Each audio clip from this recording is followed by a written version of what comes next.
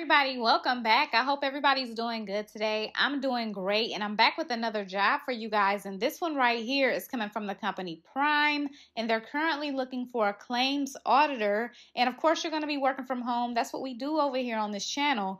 And this is a full time job, so this job does have a pretty decent pay. Let's go ahead and get straight into the details. You will be reviewing benefit plans to ensure that claims are being adjudicated accurately and consistently according to Magellan contracts. You're going to audit claims for financial accuracy, and you're going to be responsible for documenting and reporting issues found and assist with the establishment and updating of processes and audit manuals. You will identify areas where issues exist and work with appropriate individuals to ensure resolution. You're going to also complete special focused audits as assigned by management and train and mentor new auditors and work with trainers to audit and develop trainees. You will act as a resource for the auditing team. You need to have experience with multiple claim processing systems, also knowledge of coordination and benefit guidelines, and understanding of the adjustment and resolution process, good interpersonal skills, strong written and verbal communication skills, one year of health claims audit experience, and also experience with Magellan's multiple claims processing system, okay? You will need a GED.